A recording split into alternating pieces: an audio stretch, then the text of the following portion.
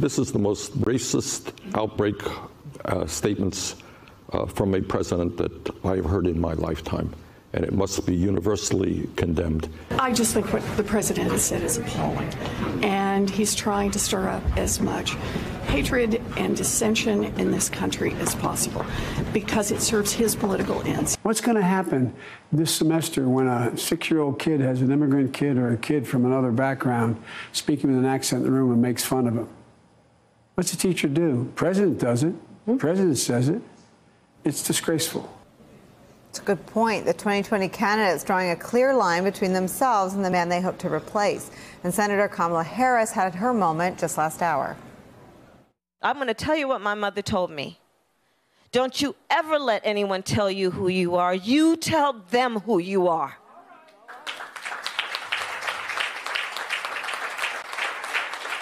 Period. And we will speak as who we are. We are Americans and we will speak with the authority of that voice and all the license and authority that comes with that voice, which is to speak truth to power, which is to speak to the ideals and promises of who we are as a nation, to speak to the aspirations of who we are, and speak knowing and remembering the history of who we are and speak with the authority that comes with the strength of knowing out of many come one, and that's who we are. And he needs to go back to where he came from. I'll have whatever she had for lunch. Joining our conversation, MSNBC correspondent Garrett Haake, who's traveling with Joe Biden today in Iowa. We're going to get to Joe Biden, Garrett, but Kamala Harris there. What do you think? Yeah, I mean, look, that's Harris try. Well, look, all these candidates are trying their best to generate a moment out of this uh, back and forth between the president and the squad. Although I would argue that this is another instance in which the president, with his Twitter feed, blocks out the sun and he makes it very difficult for any of these candidates to be talking about what they want to talk about. I don't think this is good for any Democratic candidate. They can make the best of it, they can paint their contrast, but I don't meet Democratic primary voters who are confused about how they feel about Donald Trump. What they're confused mm. about is how they feel about this enormous field of Democratic candidates. And I can think of three candidates off the top of my head who put out major policy plans within the last two days, and we're barely, rarely talking about any of that. It's not getting the coverage, it's not getting the oxygen. What is, is yet another feud between Donald Trump and somebody. That's not to cast any, uh, you know, aspersions on or, or limit the seriousness of what's going on at the White House, but for all of these Democratic candidates, it's just another thing that sort of locks this field in place place and makes it harder for anybody to be talking about the issues they want to talk about and more completely introduce themselves to the Democratic primary electorate.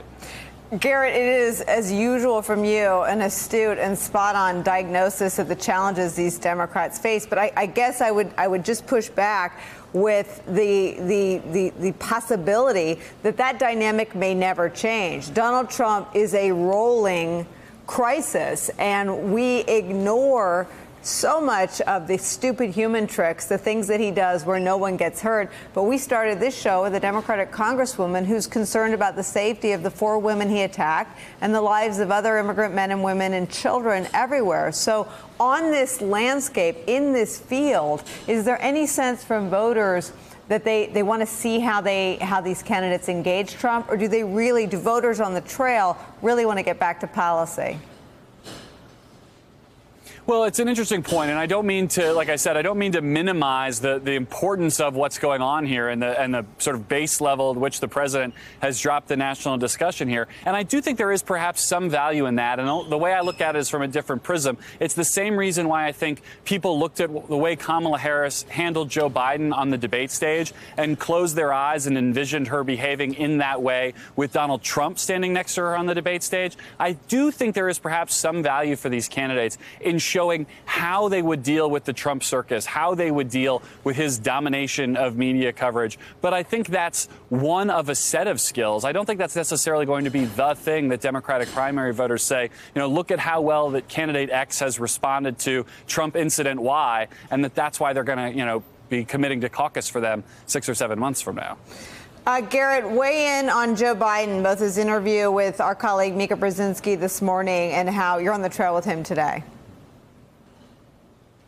Yeah, that's right. So Biden is in western Iowa today. He has rolled out his plan for rural voters. It includes a big health care chunk. The interview with uh, Morning Joe this morning is part and parcel of this rollout of his larger health care plan. I've covered a couple of his policy rollouts. This is the most complete. I think it's also because it's the one that he cares about the most personally, both because of his own dealings with the U.S. healthcare system uh, during the death of his son, Bo, and also mm-hmm. his involvement in crafting the ACA. So he he knows this policy and knows how emotionally meaningful it is to voters, I think a little bit better than some of these other policies. And it's been really interesting to watch him over the last couple days. He did this in the interview and he's been doing it in Western Iowa. Use this setting and this issue to really critique Medicare for all in kind mm-hmm. of an aggressive way. I'm standing in front of a rural hospital here. Uh, Biden made the argument at an event earlier this morning.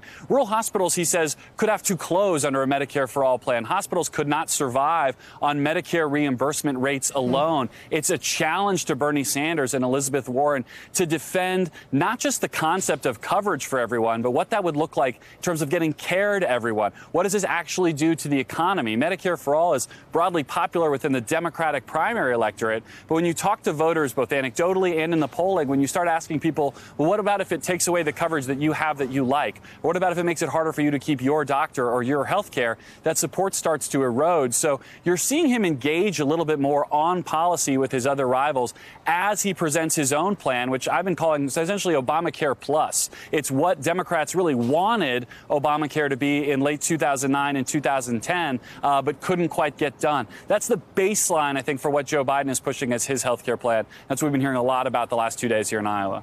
Uh, we're going to talk about Biden some more in the next block, but I got to get you two on the record on Kamala.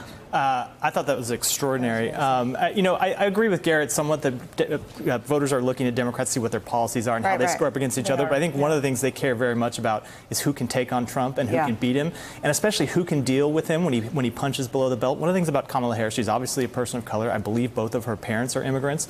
You think Donald Trump isn't going to make that part of the campaign well, if she's the nominee? His son already retweeted uh, an attack on her, a racist attack. Exactly, he obviously is, and that response I think was so telling because it showed her not just showing the kind of toughness you need to, talk, to take on Donald Trump, but also speaking like a president, an actual president, speaking to the nation's highest speaking ideals. like a president and, and creating and matching the drama of the moment with the opposite of what Trump. Trump's yeah, drama right. is around the baseness, the grotesqueness of what he's saying her moment was was you know yeah. Sorkin-esque. Yeah. It was elevated. It, it was, was, dramatic. It was dramatic. She was clearly angry. You were saying that yeah. uh, d- while we were watching her. Look, she she showed the Kamala Harris that we saw on stage. She was angry. She took it to him. You could see her taking on Donald Trump, and she did two things. She she called Donald Trump a racist, and she talked about the vision of this country and who we are. And it was really phenomenal to watch.